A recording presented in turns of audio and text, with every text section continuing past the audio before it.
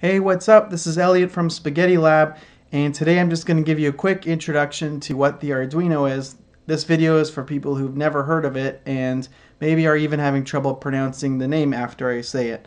So the Arduino is basically a little microcontroller. It's not necessarily a mini computer, which is what the Raspberry Pi is, if you've maybe heard of that one.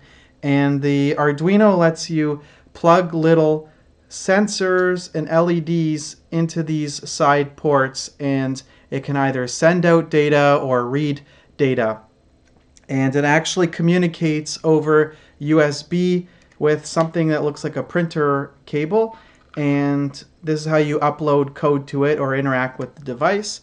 And there's also a uh, often a 9 volt uh, power supply so you can run it without the computer. I actually first started using the Arduino through the art college scene over at OCAD University in Toronto and I kept using it over the years to prototype different projects. I've done performances with it and all kinds of cool things. Uh, a lot of engineering students are also using the Arduino to learn about robotics and other experiments.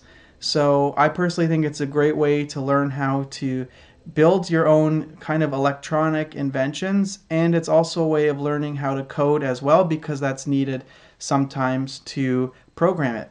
Okay, so thanks for watching and in next videos we're going to be diving in a bit more in depth. Talk to you soon.